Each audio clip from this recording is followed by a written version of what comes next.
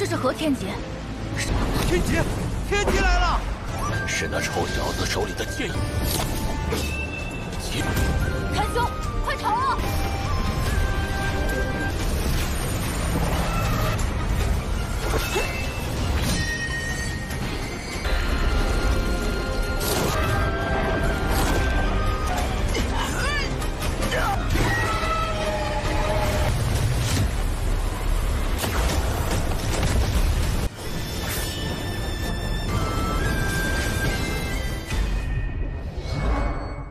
！Halo guys, welcome back to Kobe Movie Dan Gimana libur kalian kemarin? Kebetulan kemarin itu tanggal merah dan masuk hari kejepit Hari ini juga gaskan libur lagi ya kan? Hehe Oke oke Nah di part 279 Nitian Cecun hari ini alias Dewa Pak Boy Kita semua bakal melihat Saking saktinya kekuatan pedang Tanyun Itu sampai memanggil bencana surgawi itu bahkan membuat kakek Tan Tai Long kaget dan berusaha menghentikannya karena muncul sosok naga begitu kuat dari atas langit.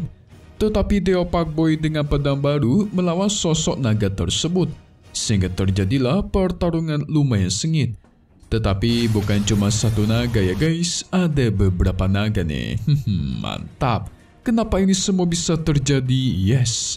Ini semua dimulai ketika Tanya mengasingkan diri selama lima tahun.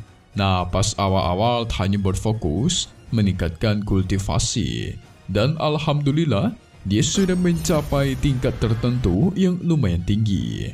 Semua kekuatannya meningkat drastis.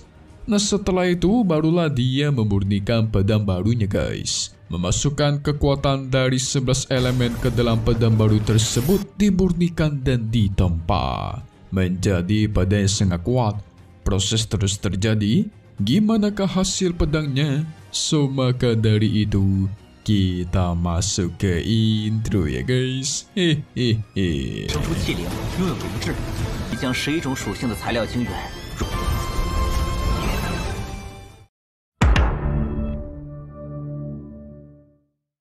Sementara itu, Xian Er menemui kakek keduanya yang tidak lain adalah kakek Tan Tai Long. Kalian mesti ingat ya guys, kakek Long bertugas menjaga divisi berjasa. Posisinya sang paman tidak tahu kalau sekarang Xian Er itu menyamar namanya sebagai Huang Fui. Tentu sang kakek penasaran kenapa Xian Er begitu cepat menyelesaikan pengasingan diri. Nah, di sini Xian Er rananya sudah sempat menyentuh penghalang alam jiwa tingkat pertama. Dengan latihan yang diberikan oleh Tan Yun, Xian Er dengan cepat bisa meningkatkan kultivasi sampai ke tingkat puncak dari rananya. Tapi lagi asik mengobrol, tiba-tiba muncullah bencana surgawi di atas langit. Bencana apa ini? Apa jangan-jangan ada orang yang masuk ke ranah alam roh? Tetapi kalau diperhatikan berdasarkan kekuatannya, ini pasti bukan menerobos ke ranah alam jiwa ilahi guys. Melainkan tanda lahirnya sebuah harta tingkat suci. Apa? Di buku kuno menjelaskan, selama sebuah pil atau senjata dimurnikan dan mencapai karena suci, maka bakal muncul yang namanya kesesaran bencana surgawi yang tentunya sungguh mengerikan. Nah, kira-kira apa bedanya kalau semisal senjata menghasilkan kesengsaraan daripada praktisi yang menerobos memanggil kesengsaraan? Nah, jadi gini guys. Kalau praktisi yang menerobos, itu mereka bakal melewati ujian untuk bertahan dari serangan kesengsaraan surgawi. Sementara pil atau senjata bakal terjadi ketika mereka sampai ke tingkat tertentu dan senjatanya memiliki kesadaran spiritual. Maka waktu itulah bencana kesengsaraan surgawi itu muncul untuk menghukumnya guys. Tetapi bahkan sang kakek sekalipun takut akan kesengsaraan surgawi ini. Karena kekuatan dari kesengsaraan itu tidak terprediksi. Sangat kuat mencapai ke titik tertentu. Itu semua bisa terjadi karena bencana ini dikendalikan oleh hukum surgawi. Jadi tidak banyak orang yang bisa menembus kesengsaraan bencana ya guys. Sehingga jelas.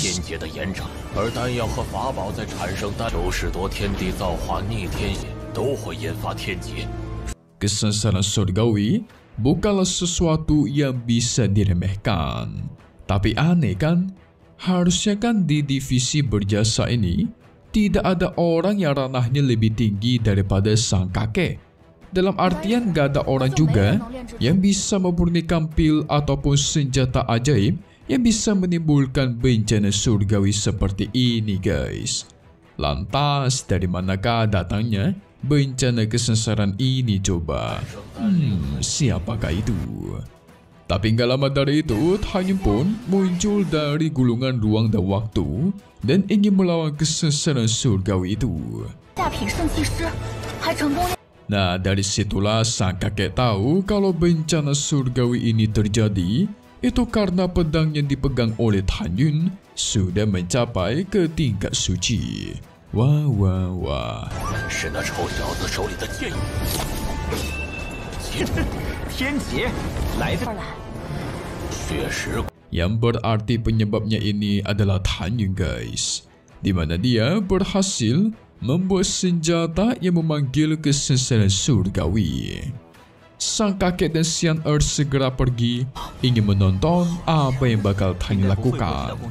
Sementara itu, Tanya pergi agak jauh dari pusat divisi berjasa supaya proses ini tidak mengganggu divisi mereka guys. Pinter sekali. Gak lama dari itu, muncullah sosok naga emas dari atas langit.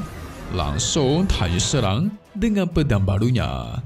Tetapi si naga berhasil menghindar pun langsung mengejar Tan Yun ingin menghabisinya.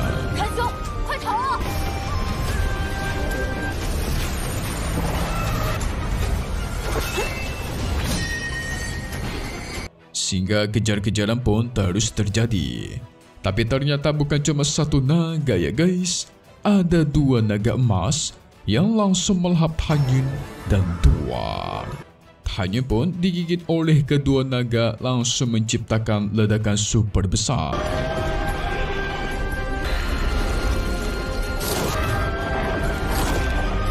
Itu membuat Xian Er panik khawatir pengen menyelamatkan Tanyun. Tetapi langsung dicegah oleh sang kakek. Karena guys, kalau sampai Xian Er masuk ke dalam area bencana surgawi, dia juga bakal memicu bencana itu untuk menjadi semakin kuat. Jadi yang ada malah Xian Er membuat bencana itu semakin kuat dan membebani Tanyun. Wadidaw.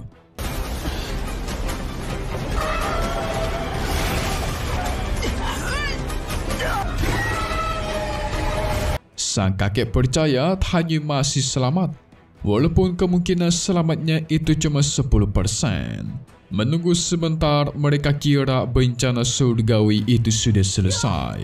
Maka mereka mencoba mencari keberadaan Tanyun, tapi tiba-tiba tuar. Dari bongkahan batu di sana, terjadi ledakan yang super besar dengan cahaya emas memancar ke atas langit. Yes, benar. Itu adalah pertanda Tanyun yang masih hidup. Tetapi Tanyun langsung menyuruh mereka semua untuk pergi dari sini. Karena bencana surgawi susulan bakalan datang guys. Si kakek tidak ada pilihan selain turun tangan untuk menarik mereka kembali. Tetapi sayang, Sian Er gagal untuk diselamatkan. Nasib adat hanyunya dengan sigap membawanya ke atas kapal. 还没结束吗？谭云， Sang kakek Long pun bertanya, apa jangan-jangan pedang yang Tanya sempurnakan itu sudah berada di tingkat suci? Tapi ternyata bukan guys. Ini baru mencapai kelas terbaik, yaitu di bawahnya tingkat suci. Tapi aneh kan? Harusnya bencana surgawi itu muncul ketika pedang atau pil yang diciptakan mencapai ke tingkat suci. Ini semua bisa terjadi karena pedang yang Tanyin buat itu bukanlah pedang biasa guys. Melainkan pedang dengan 11 atribut terkandung di dalamnya. Wadidaw. Pantesan aja memicu bencana surgawi dengan 11 macam atribut kekuatan juga.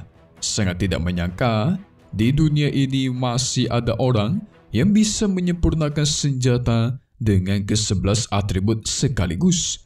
Sampai-sampai sang kakek menggunakan telepati mengatakan kepada Xian Er, kalau Tanyan ini memiliki masa depan yang cerah tidak tertandingi. Takutnya mereka tidak bakal menemukan monster semacam Tanyun di benua mana pun. Wah, udah dapat restu dari sang kakek kedua nih. Hehehe, mantap hanya menyuruh mereka untuk mundur sejauh mungkin karena masih ada bencana terakhir yang harus dia hadapi. Kakek Long tidak sabar melihat hasil dari pedang buatan Tan Yun. Sehingga gak perlu basa-basi lagi, bencana terakhir pun Tan Yun lawan dan tuar. Itu berhasil. Dan sekarang pedang milik Tan Yun mempunyai kesadaran spiritualnya guys. Tanyun memberikan namanya sebagai Xiao Zhe.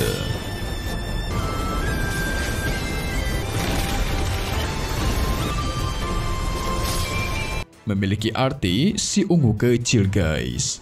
Selama Tanyun belum mendapatkan pedang-pedang Dewa Homengnya, dia akan menggunakan pedang satu ini sebagai gantinya sementara.